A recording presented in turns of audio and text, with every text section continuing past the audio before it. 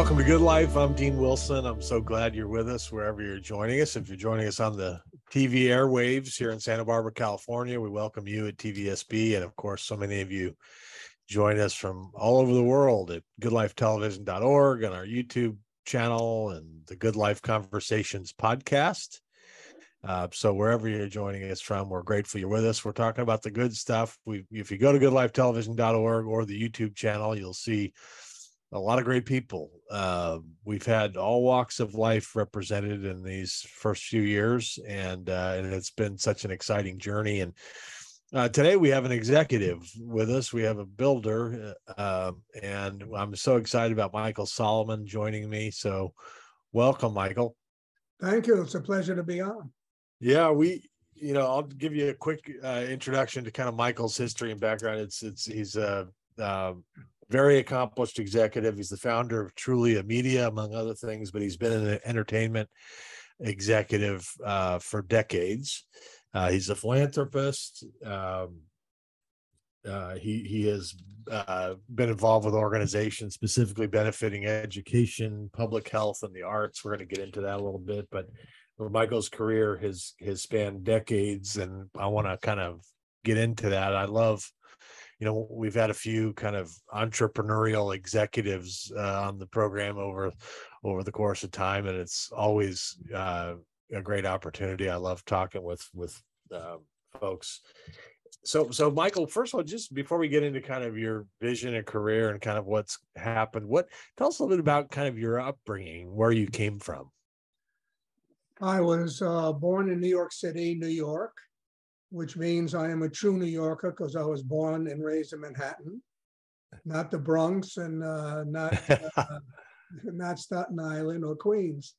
And uh, my uh, uh, father's uh, father, my grandfather, was born in Berlin, Germany, but he was six months old when he came to the U.S. And my mother, my mother's father, was born in New York City proper. So uh, I guess I'm a third and fourth generation New Yorker. Wow. And what was it like? What was that like? For I mean, that's a that's an interesting uh, place to be born and raised. Well, I didn't know anything else but that. So uh, I was, uh, you know, raised on the streets of New York City and uh, schooling in uh, New York City and uh, I am, uh, uh I guess, uh, being raised on the city of uh, of New York. It prepared me for a lot of life's difficulties and challenges because, as the song goes, "You make it in New York, you can make it anywhere." Right. And, right. and I believe I made it in New York, which pretty much I've made it anywhere, and I right. think that education and growing up on the streets of New York really prepared me for life in many ways. Yeah. Yeah. And did you, so what was your road in terms of coming through school, finishing school, and then deciding on kind of media entertainment? How, how did that all happen? Well, I went to uh, school in Boston, uh, which is called Emerson College, and uh, Emerson is one of the great communications and media schools in the in uh, in the universe. And uh, uh, half halfway through my freshman year, I joined the Army because they had a six month program at the, in those years, and I spent half of my sophomore year in the Army and uh, field artillery and became a, a, a, uh, teacher in the 105 millimeter howitzer in Fort Smith, Arkansas. Then I went back to Emerson, finished my half of my sophomore year, uh, went to summer school and uh, finished the first half of my sophomore year. And then I found I was 19 years old, had uh, completed two years of college and, uh, and uh, my Army uh, requirements. And then I decided to transfer to New York University. And uh, I started out uh, going to the Evening School of Commerce, which was now called the Stern School of Business at New York University. And I worked for a company called United Artists when I was uh, eight, 18 years old, and my first job was loading films on trucks. And when I went for the job, they said, "No, you wouldn't want this." I said, "Why not?" Well, it only pays thirty-eight dollars a week. I said, uh, "Yeah, but I'll take it." They said, "Why would you do that?" I said, "Because it gets my foot in the door." And uh, you know, you can't uh, you can't grow uh, unless you have your foot in the door. So uh, I grabbed uh, the opportunity. I didn't care about the thirty-eight dollars a week. And uh, then I went to Evening School of Commerce while working for United Artists. And uh, coincidentally, uh, many years later, I was elected to the board of the Stern School of Business. And I was on the board uh, for 38 years. Uh, actually, 33 years, sorry. 33 years I was on the board of the Stern School of Business. And uh, so um, uh, that pretty much was my education. And, and, and I'm currently on the board of the Emerson College uh, as well uh, in Boston, where my grandson goes. So, uh, oh wow, I'm very involved in higher education, and I mentor a lot of kids uh, in uh, in college, and I get a kick out of it. It's sort of uh, giving back. So, yeah. Oh, that's so great. I appreciate uh, uh, the opportunity to give back uh, to young people yeah and i want to get into that more in a second so so after you so you spent eight years at united artists and then you were hired uh, my understanding is to create a, latin american tv division uh, for mca which is now nbc universal talk about that transition and kind of where where that took your career well, I was uh, uh, loading films on trucks, as I said, and uh, I guess they thought I was the best loader of films on trucks I ever saw. Uh, so uh, from there, they asked me to go in the international division. And I said, What does that mean? And they said, Well, you'd be marketing our content outside the United States. And then they asked, uh, Have you ever been outside the United States? I said, Yeah, I think my father once took me to Newark, New Jersey. I said, I think that's as far outside the United States I had ever been. So the first place they sent me to was Panama. I was uh, just turning, uh, this was in 1980, and I was just turning 21 years of age. And my mandate was to open up the Central American territory to American movies. So I traveled to Guatemala, Nicaragua, Honduras, Salvador, Costa Rica, and Panama. I was 21. What did I know? And wow and uh, lived in Panama. And then a year later, they, I guess I did a good job because they transferred me to Bogota, Colombia. And I lived in Colombia for a year, and that was quite an adventure because I traveled all over the country, and uh, it was pretty dangerous in those years. But you know, when you're that age, you sort of don't think about those kind of things. And I traveled with the 38 on my side. Uh, if I didn't, I wouldn't be here talking to you now. And that's another story. After a year uh, traveling throughout Colombia, they made me manager of Peru and Bolivia. So I lived in Lima for two years. I was 26 years old. And uh, so I was eight years with United Artists, and then a company called MCA came along. Uh, MCA was the largest company in the media business in those years. It's now owned by Comcast, Universal, NBC. And they asked me to start their Latin American television division.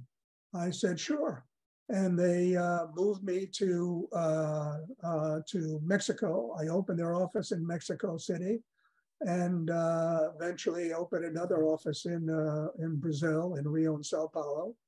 And I traveled throughout 16 uh, countries in Latin America and put most of the kind of, most of the television networks on the air in those years, on those in those at that time, which is 19 early 60s, and I spent uh, what uh, I think uh, with MCA.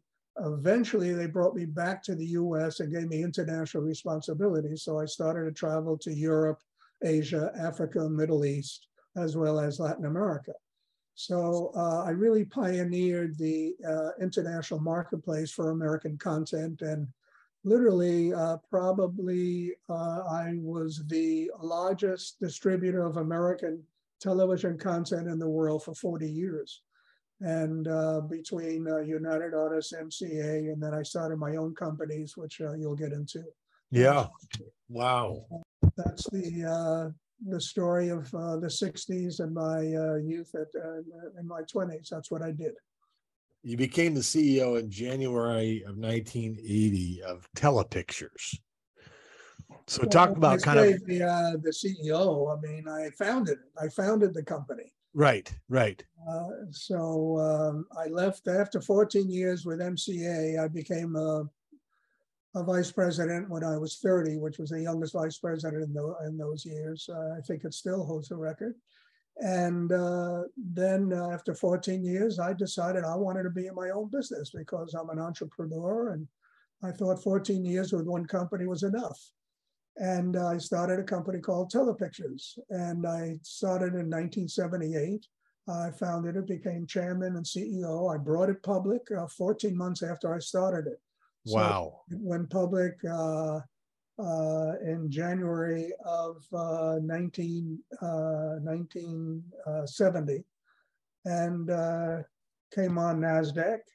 And uh, we started syndication in the in the in, the uh, the television industry uh, with a little series called People's Court, and uh, that uh, uh, became the godfather of all of the uh, court shows, which are probably ten of them now. Right. And, uh, still on the air after 38 years or something like that.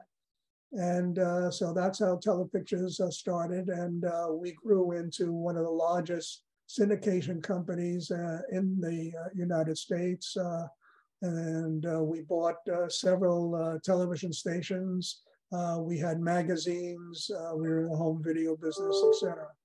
It was uh, a company that uh, started out with, uh, I think, $3 million when it went public. I think I raised $3 million. And uh, to make a long story short, 13 years later, sold it to Warner Brothers for uh, 1.4 billion. So I always say that only in America something. right. Right. Wow. So so so January 1980 is Telepictures goes public. And then there was a there was a merger with Lorimar. Is that is that do I have Well, that uh, seven years later, uh, my company uh, bought a company called Lorimar, and it became Lorimar Telepictures. And Lorimar Telepictures is famous. We produced Dallas, uh, Falcon, Right. Falcon Crest, Knots Landing, and many of those type of shows. And uh, we also bought the old MGM studios, and it was called uh, Lorimar Telepicture Studios in Culver City, which is now the Sony Studios. And that's a long story how it became Sony. But in any event, uh, you know, middle class guy from New York City, all of a sudden, uh, uh, my company that I'm running uh, owns uh, one of the principal Hollywood studios uh, uh, in, uh, in in the United States. So it was a wonderful time. It's it's, wonderful to go to enter the gates and have the uh, guards salute you. Incredible. All starting at $38 a week loading trucks. dollars a week loading films on trucks. That's right. That is such a great story.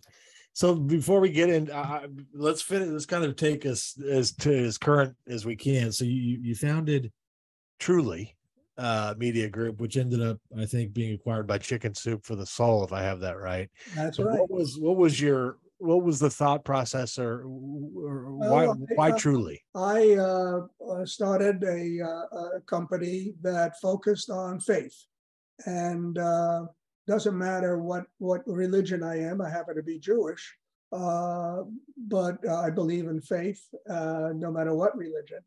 And uh, we, uh, my, my and my team went around. This is an idea that I had, and uh, we went around to ministries all over the country, and we signed up uh, the uh, uh, the ministers. Um, uh, what do you call it? The every Sunday they give a talk. What do you call that? The sermon, Uh, like sermons. yeah, sermons. So uh, I signed up uh, hundreds of uh, of ministers delivering their sermons on uh, Truli, which was a platform which you could do log into at truli.com.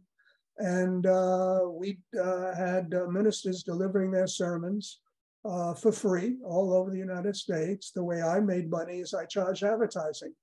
And, and I, so I got what I wanted. The ministers got the, what they wanted because they wanted to spread their message to as wide a, uh, an audience as possible, which I allowed them to do.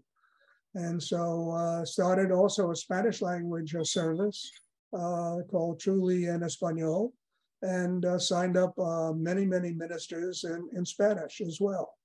So it grew and grew. And then a company called Chicken Soup, uh, which was just starting out at, at that time, uh, the CEO came to me and said, uh, I really want to be in the faith business and you're, uh, you've been so successful, I'd like to buy your company. I said, really? They said, uh, yeah. So uh, long story short, I sold, uh, uh, I sold chicken, I sold to Chicken Soup, uh, truli.com. And it's still very much a part of the Chicken Soup platforms. They own many, many platforms. And still the same people that ran it for me are still running it, uh, which I'm happy to say. So I think that was uh, two, three years ago, maybe four years ago. So I'm very happy that it's uh, it's living and it's doing extremely well. And it again, it came from my imagination. So I was uh, happy about that. And you're still advising Chicken Soup for the Soul, is that correct? I was, uh, a year later, the CEO of Chicken Soup called me and said, I'd like you to, to join my company. I said, I'm not looking for a job. He said, no, no, no, I'm not offering you a job. I said, what do you want me to do? I said, I want you to be senior advisor to our company. I said, what does that mean? That means uh, you'd be, you'd be uh, helping me grow the company. So I said, well, I'll do it on two conditions. Number one, I have no administrative uh, responsibilities. And number two, nobody reports to me. So uh, he said, done deal. So I've been part of uh, Chicken Soup and I've really been very uh, involved in helping them grow. And it's, uh, it, it's grown quite considerably. If you've ever looked up Chicken Soup. uh, Yeah, oh yeah. We've had, we've had them on the program. yeah. So, uh, and uh, they own uh, Truli. So uh, I think that's how I got to you. Yeah, yeah. Uh, Maureen, Maureen uh, introduced us, I believe, and she runs Truli. Yeah, well, no, we love their platform and all the things that are going on uh with, you know, obviously Truli being a big, big part, but so, so. That is an incredible road. I don't know that I've talked to somebody um with a kind of more incredible journey here of from from thirty-eight dollars a week to you know, going, taking a company public in fourteen months and then doing all the things you've done. So Well, what I'm kind of? actually- I'm actually hundred and two years old. You uh, put that you in- look great you look great so so, so what what was the passion Ta- talk about kind of your passion because and then and then I, let me put it this way what is your um approach how do you take something from like a Truli idea or telepictures or whatever we want to talk about but from from here's an idea to it happening? Like what is that road like and how would you you talk about mentoring i know you mentor young people but what do you how do you talk to somebody who's a who's got an idea or a vision or a dream but wants to see it actually happen Well, I think everybody has a dream of one kind or another. But as I always use the analogy about producing a motion picture, you can produce a motion picture and you could have a great cast. You could have great writers. You could have a great director. But at the end of the day, the success is in the execution. And if it's not executed with all of that talent, et cetera, then it's going to fail. At the same time, you could have great execution without uh, well-known actors, without a well-known director. Many motion pictures have been successful because uh, of the execution and uh, and the picture being turned out really well. So I believe that uh, you're only as successful as the people you surround yourself with. So uh, it's always the team of people that I surrounded myself that helped me execute my ideas successfully. Because without those people, I never would have been able to to uh, uh, to be successful. And I always say, which sounds uh, a little uh, patting on the back, which I don't mean it uh, to sound that way, but I think I'm the smartest guy in the world, and uh, which is kind of arrogant. And people will say, "Why is that?" I said, "Because I know what I don't know." Right. And uh, and I try to fill in the blanks with people who are smarter than I am in, in particular areas, and creating a team and uh, combining all of the talents of the team to be successful that's, I believe, uh, has led uh, uh, to, to, to the road of success for me is uh, believing in the people I've surrounded myself with. And a lot of those people have gone on uh, to great success running networks, television studios, movie studios, uh, running big companies, et cetera. People who started with me as with, you know, as interns. and I always believe in sharing. So when I went public, I gave people stock because I couldn't afford high salaries. So I said, if you want to take a leap with me, a leap of faith, I can't afford to pay you a, a lot of money because I don't have a lot of money, but I'll give you some stock. Uh, and at the end of the day, uh, that stock made several, more than several of the people that started working with me millionaires. And uh, literally, they bought their homes, raised their kids, sent their kids to college, etc., uh, because I gave them a piece of the action. Yeah, it's so great. Yeah. Eh, so, what is in terms of team? I mean, eh, eh, you you've built and worked with lots of teams and grown teams. How do you? Uh, how would you advise somebody who's in leadership in in terms of building and growing a team that stays together and achieves the objective? Don't micromanage. Very, yeah. very important advice. Listen to your people, meet with your people, hear what they have to say. Uh, let them, uh, let them, uh, uh let them be negative, let them be positive. Just give them the freedom to think for themselves and to uh, have the same passion I do. And uh, once you start something, to see it grow. And if they don't have the passion I have, then they can't work for me because you mentioned passion a couple of times. You could have passion and not be passionate. I I uh, I have passion, but I'm very passionate. Mm-hmm. Right. And how do you, in terms of like you know mentoring uh, if, if you're working with young people today in today's climate in today's world um, are there certain things or principles or whatever that you focus on in terms of how you building into young people well uh, the uh, you know our uh, dialogue right now is the same dialogue i'll have with young people same dialogue it, it's it's uh, you know all of these kids have uh, have ideas, etc. And I tell them, you know, uh, what are you doing to to successfully execute those ideas? And that creates a dialogue, and I have that dialogue with them, and uh, all based on my personal experiences and knowledge. And uh, so I talk to them really as a father uh, figure as well as a mentor. And and what about failure? I mean, I, you haven't failed a lot. If I don't, you know, but but how do you deal with failure? What is the song? Uh, you uh, dust, you fall, dust yourself off, and start all over again. Uh, I have failed, sure, but I believe in myself. I believe that the, the failure was uh, something that could have been avoided. So I learned by that failure, and hopefully uh, not make the same mistakes uh, the second time or the third time. And, you know, no, I have failed. I've lost a lot of money in uh, investing uh, in certain areas. I invested, for example, in a television network in Peru, uh, which uh, totally failed uh, because of politics that I had no control over because of the economics of Peru.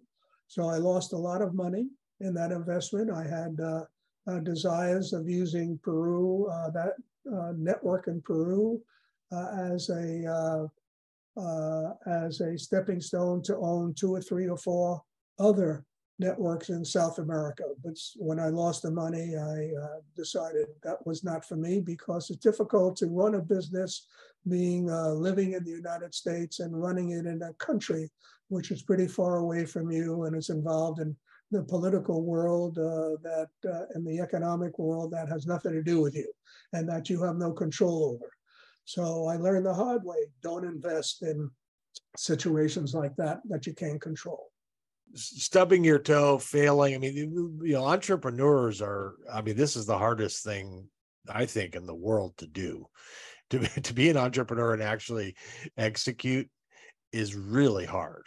I mean, it's and and I don't think it's for everyone, but but but what you're saying is if you if you have an experience where you fail, that doesn't mean that you can't do it. It just means you learn and you get back up and go forward.